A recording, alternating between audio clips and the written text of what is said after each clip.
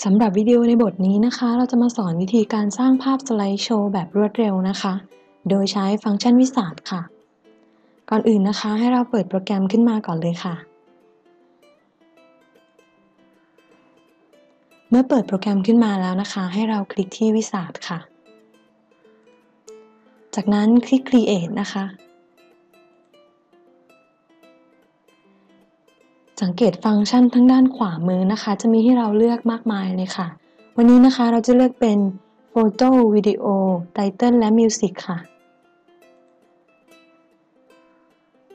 จากนั้นคลิก Continue to Wizard นะคะ เมื่อคลิกแล้วนะคะ จะปรากฏหน้าจอ Start with a Theme นะคะ จะเป็นหน้าสำหรับใส่ Slide Style นะคะ เราสามารถเลือกธีมที่เราต้องการได้เลยค่ะ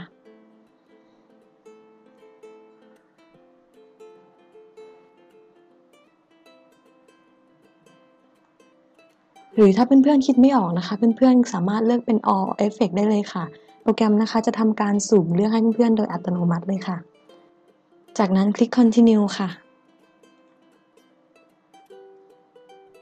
เมื่อเพื่อนๆคลิก continue แล้วนะคะ ก็จะปรากฏหน้าใหม่นะคะ ก็คือหน้า content นะคะ หน้า content นะคะจะไว้สำหรับใส่รูปภาพและเพลงนะคะ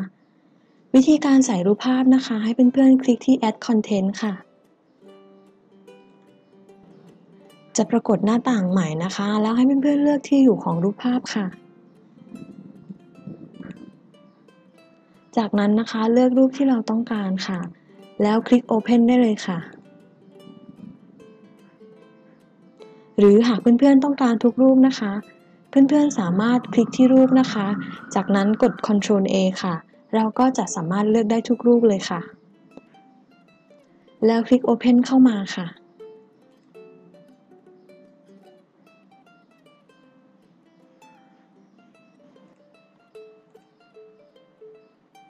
หากรูปซ้ำนะคะเพื่อนๆสามารถลบออกได้นะคะ โดยคลิกที่รูปที่เราต้องการลบค่ะ แล้วกดที่รูปถังขยะนะคะ วิธีการใส่เสียงก็เช่นเดียวกันค่ะ ให้เพื่อนๆ คลิกที่ add music นะคะ จากนั้นเลือกที่อยู่ของโฟลเดอร์นะคะ แล้วคลิกที่เพลงที่เราต้องการค่ะ แล้วกด open เข้ามาเลยค่ะ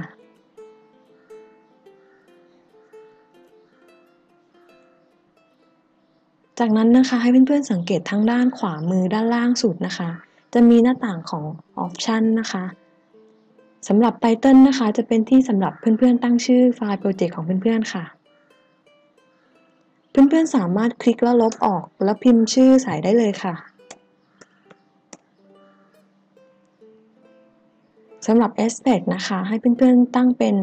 y 16 ต่อ 9 นะคะ ซึ่งจะมีขนาดเต็มหน้าจอและมีความสวยงามค่ะ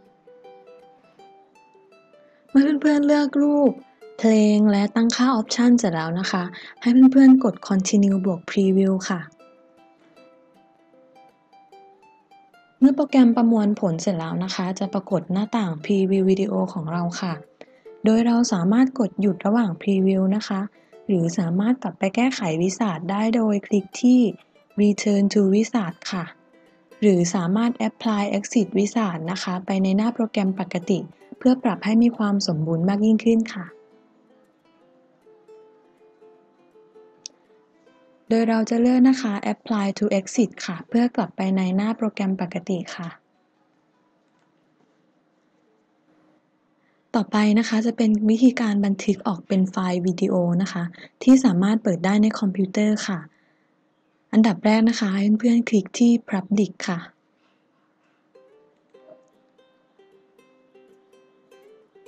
จากนั้นนะคะเลือกเป็น Video for Web Device and Computer นะคะ คลิกโอเคค่ะ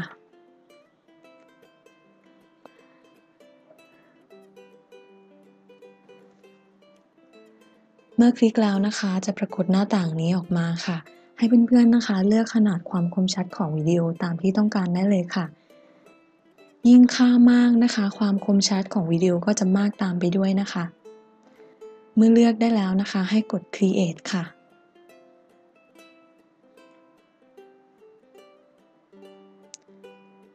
จากนั้นนะคะให้เพื่อนๆเลือกที่อยู่ของวิดีโอที่เราจะบันทึกไว้นะคะ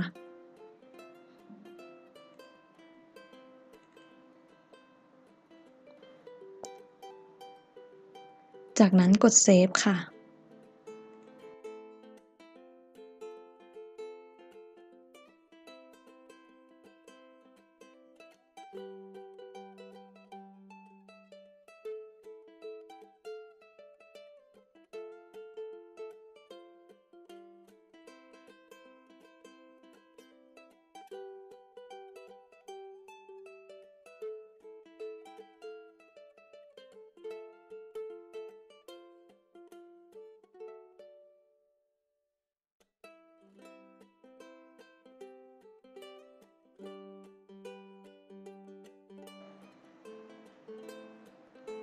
เมื่อโปรแกรม Render วิดีโอเสร็จแล้วนะคะ ให้เราคลิกโอเคค่ะ จากนั้นนะคะให้เพื่อนๆไปเปิดโฟลเดอร์ที่เพื่อนๆบันทึกไว้นะคะ และเพื่อนๆก็สามารถรับชมวิดีโอของเพื่อนๆได้เลยค่ะ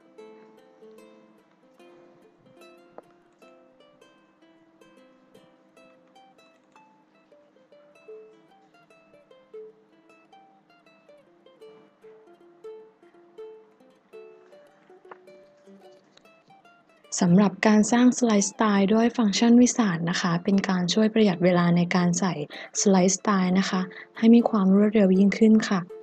สำหรับเพื่อนๆคนไหนนะคะ ที่มีข้อสงสัยหรือฟังไม่ทันหรือยังไงนะคะ ให้เพื่อนๆสามารถคอมเมนต์ได้ที่วิดีโอเลยค่ะ ขอบคุณที่รับชมค่ะ